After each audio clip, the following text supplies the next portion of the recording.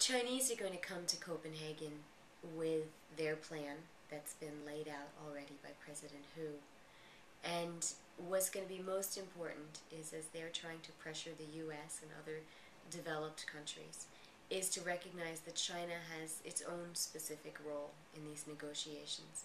It is neither a developed nor simply a developing country. And so China is going to need to take more of a leadership role than other developing countries, but it doesn't have quite the same role as an industrialized one. It's sort of in a middle bracket. Um, and the, the key I think that every country is going to have to focus on is that we can't declare Copenhagen a failure if we don't come up with a global deal there. Uh, the likelihood of a global deal right now is, is slim, but the issues are very challenging.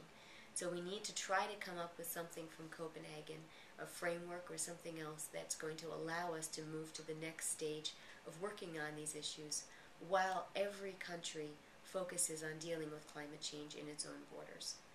Um, so that means that China needs to continue working as hard as it can to help reduce carbon emissions around its country, and the U.S. needs to do the same, uh, as well as the other countries around the world, while we're coming up with a political solution to this problem.